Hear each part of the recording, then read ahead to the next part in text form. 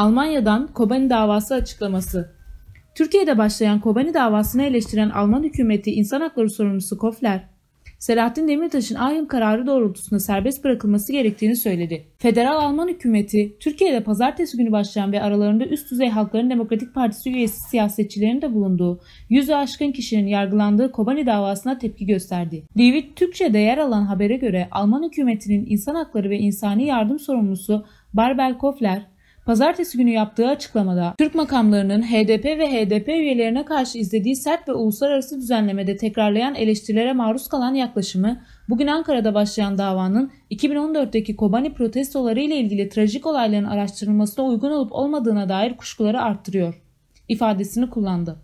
Kofler, siyasi görüşleri kriminalize etmek isteyenler demokrasinin temeline hedef alır diye konuştu. Almanya'nın dava sürecini yakından takip edeceğini kaydeden Kofler, Türkiye'de hukuk devleti ilkesi standartlarına sadık kalınması yönündeki belirtisini dile getirdi. Özellikle HDP eski eş genel başkanı Selahattin Demirtaş'a şaibeli suçlamalar yönetilmemesi çağrısında bulunan Kofler, Demirtaş'ın Avrupa İnsan Hakları Mahkemesi'nin kararı doğrultusunda serbest bırakılması gerektiğini kaydetti.